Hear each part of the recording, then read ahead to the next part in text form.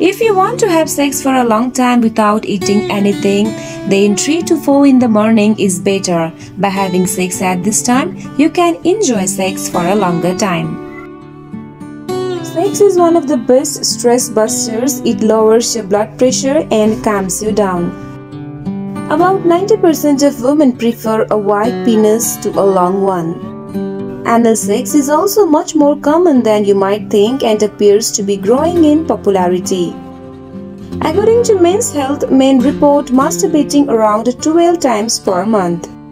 Being well hydrated leads to better orgasm as the body is filled with mostly liquid.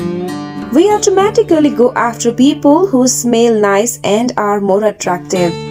Condoms stored in wallets for more than a month are more likely to break.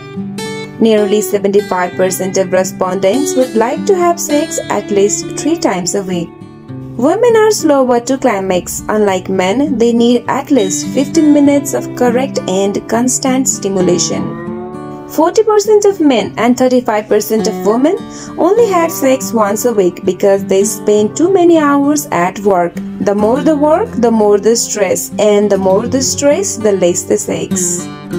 People who sleep face down on the stomach with the arms stretched above the head have more sexual dreams.